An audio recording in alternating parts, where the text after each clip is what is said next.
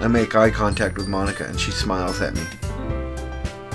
I wonder what she was talking to Sayori, talking about with Sayori. Okay, I'm gonna change things up a little bit today. What? Okay, okay, yeah. Do? Sayori first. Yes.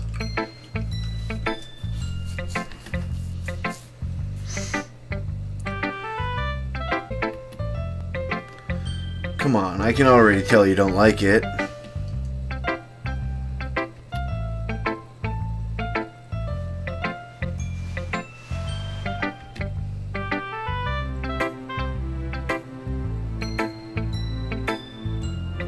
Maybe. Uh, I didn't write this for anyone specifically. Bullshit. Sayori. Is there something wrong?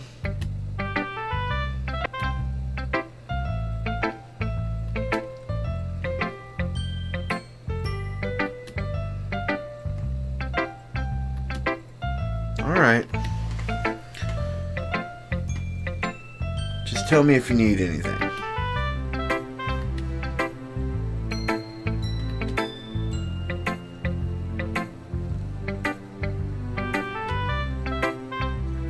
Go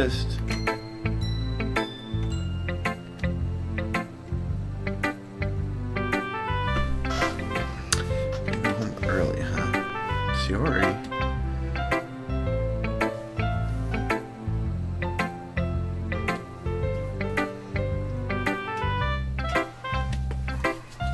Before I can say anything else, Yori cheerfully walks out of the classroom, humming to herself.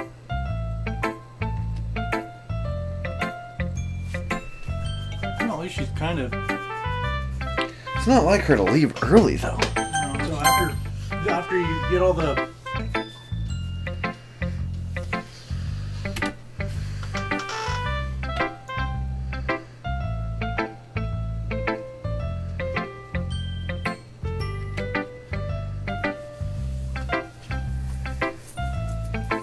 She didn't even give you a poem that. You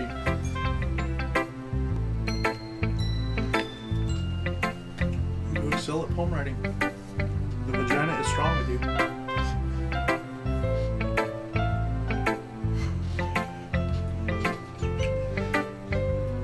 Fuck you!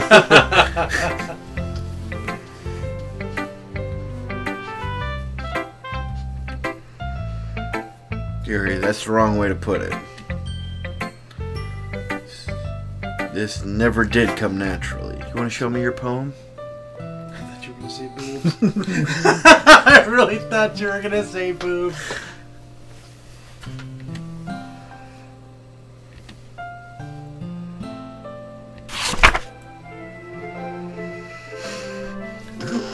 Ghost Under the Light Part 2. The tendrils of my hair illuminate beneath the ember glow, bathing. In the distance, a blue green light flickers. A lone figure crosses its path, a silhouette obstructing the entire glow. The eerie glow. Excuse me. My heart pounds. The silhouette grows closer, closer. I open my umbrella, casting a shadow to shield me from visibility. But I am too late. He steps into the streetlight. I gasp and drop my umbrella. The light flickers. My heart pounds. He raises his arm.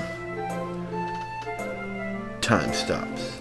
The only indication of movement is the amber light flickering against his outstretched arm.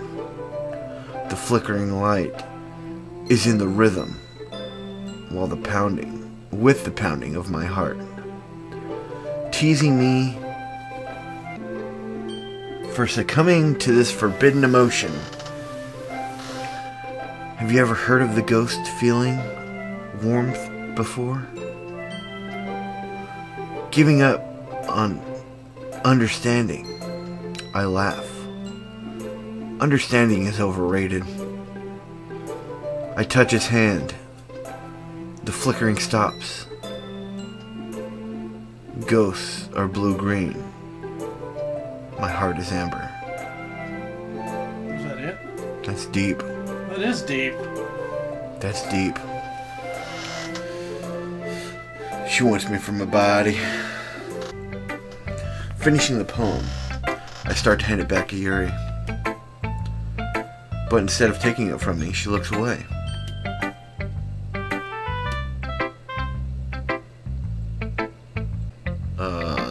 Of course not.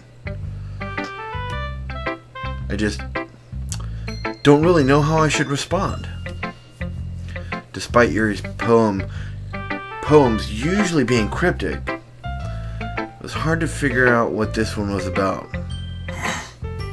No, no, it really wasn't all that hard.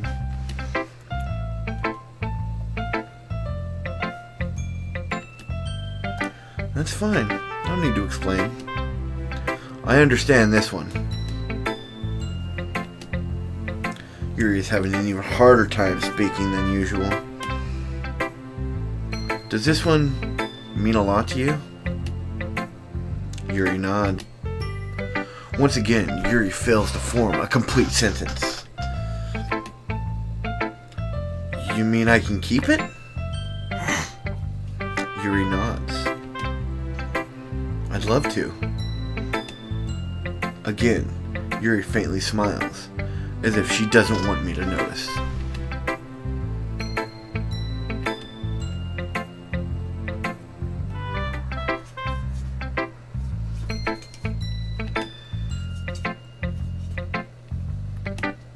Yeah, I like that. I'm sure we will. With that, Yuri timidly smiles at me, and I turn to my seat so I can put her poem away. In your pants. That means she didn't share that poem with anybody else. That means that is a poem for you. I think you're getting laid, buddy.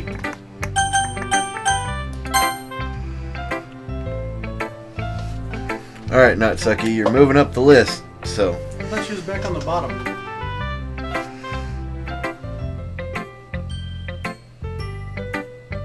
Yep, she's back at the bottom. What? I didn't think this one was that bad. What did I do wrong?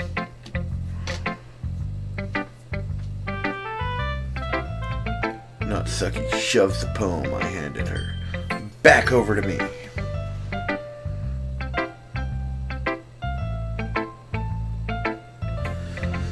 This is what I get for letting a younger girl step into my business. Oh, Have we been saying that the whole time? You're here. Didn't want to read her poem anyways. The game knows that, obviously. Now let's see how pissed off Monika gets. Piss off all three of them in one go, huh?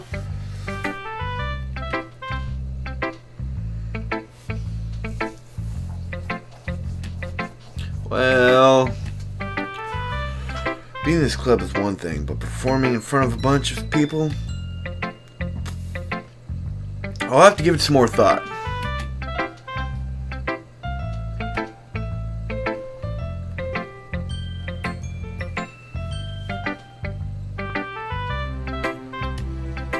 Sure. I let Monika take my poem. I'm holding back. I'm holding in my hands.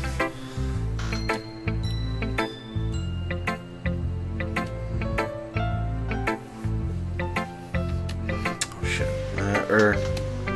Alright. I read another poem. Oh, it's a short one. What's this one called? Maybe. Okay, hold on. Her last poem was fucking weird, right? Yeah. So let's see if this one's weird.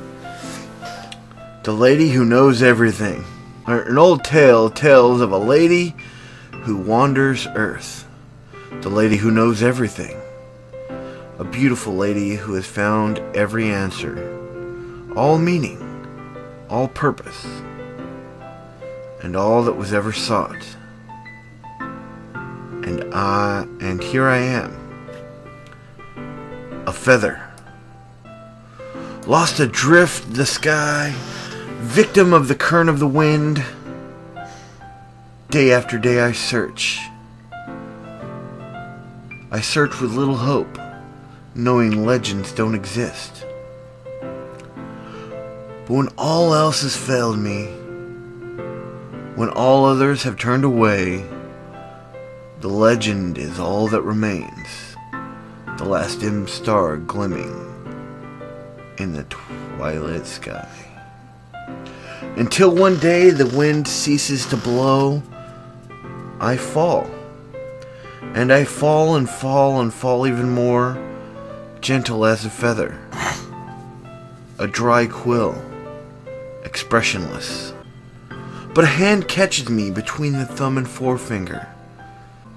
The hand of a beautiful lady. I look at her eyes and find no end to her gaze. The lady who knows everything knows what I am thinking. Before I can speak, she responds in a hollow voice. I have found every answer, all of which amount to nothing. There is no meaning. There is no purpose. And we seek only the impossible. I am not your legend. Your legend does not exist. And That's with a breath, she blows me back afloat, and I pick up a gust of wind. that's interesting. Maybe she meant blow me.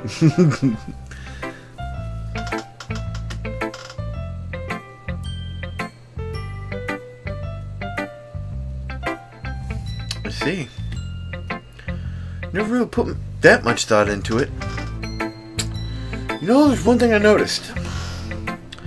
Seems like everyone in this club prefers writing about things that are more sad than happy. That's a point.